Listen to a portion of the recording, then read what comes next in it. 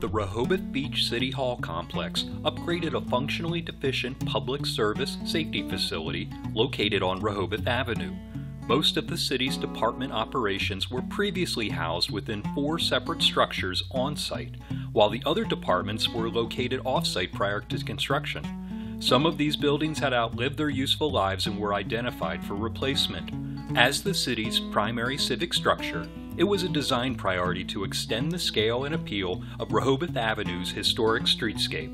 The team of jurors gave the project strong marks for its site design, aligning with sustainable urbanism principles and reflective of a community based process that prioritized pedestrian experience and citizen access over automobiles and parking. The decision to renovate the existing Civic Center meeting hall, but use an enlightened civic space, the Grand Corridor, in the interior to bring the pedestrian access out to Rehoboth Avenue is indicative of a nuanced understanding by the architects of the role that civic buildings play in a pedestrian oriented Main Street.